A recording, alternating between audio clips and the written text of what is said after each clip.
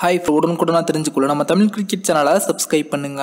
இரண்டாயிரத்தி இருபதாம் ஆண்டில் நடக்க இருக்கும் ஐபிஎல் தொடருக்கான ஏலம் பார்த்தீங்கன்னா இன்று நடைபெற்று முடிஞ்சது. இதில் மும்பை மற்றும் சிஎஸ்கே இந்த இரண்டு அணிகள் ஏலத்தில் எடுத்த வீரர்களுடைய முழு விவரத்தை பற்றி நாம இப்போ பார்க்க போகிறோம் இதில் சிஎஸ்கே அணி பார்த்தீங்கன்னா முதலில் ஆல்ரவுண்டரான சாம் குரன் இங்கிலாந்து அணியைச் சேர்ந்த இவரை பார்த்தீங்கன்னா ஐந்து புள்ளி ஐந்து கோடி ரூபாய்க்கு சிஎஸ்கே அணி ஏலத்தில் எடுத்திருக்காங்க.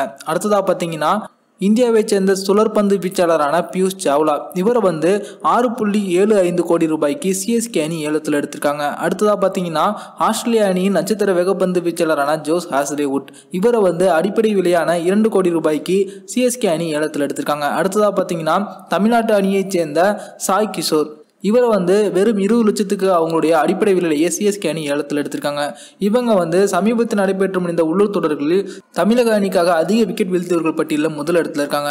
சிறந்த சுழற்பந்து வீச்சாளரான இவங்க கண்டிப்பாக சிஎஸ்கே அணியில் அசத்துவாங்க அப்படின்னு எதிர்பார்க்கப்படுகிறது. அடுத்ததாக மும்பை இந்தியன்ஸ் அணியில் பார்த்தீங்கன்னா அந்த அணி அதிகபட்சமாக ஆஸ்திரேலிய அணியின் வேகப்பந்து வீச்சாளரான நாதன் கவுல்டர் நைல் அவங்கள எட்டு கோடி ரூபாய்க்கு ஏலத்தில் எடுத்திருக்காங்க. அதன் பிறகு அதிரடி துவக்க வீரரான கிறிஸ்லின் அவர்களை இரண்டு கோடி ரூபாய்க்கும் சௌரப் திவாரி அவர்களை அடிப்படை விலைக்கும் எடுத்திருக்காங்க. அதன் பிறகு திக் விஜய் தேஷ்முக் அப்படின்ற ஒரு வீரரையும் மொய்ஷின் கான் அப்படின்ற ஒரு வீரரையும் ஏலத்தில் எடுத்திருக்காங்க. அதன் பிறகு பிரின்ஸ் பல்வான் ராய் சிங் அப்படின்ற ஒரு வீரரையும் தற்போது மும்பை இந்தியன்ஸ் அணி ஏலத்தில் எடுத்திருக்காங்க.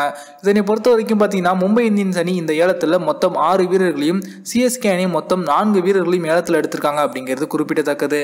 அதே போல இரண்டாயிரத்தி இருபதாம் ஆண்டு ஐபிஎல் தொடருக்கான ஏலத்தில் குறைந்த தொகைகளை கையிருப்பு வைத்திருந்த அணிகளில் இந்த இரண்டு அணிகள் தான் முதல் இரண்டு இடத்துல இருந்தாங்க அப்படிங்கிறதும் குறிப்பிடத்தக்கது.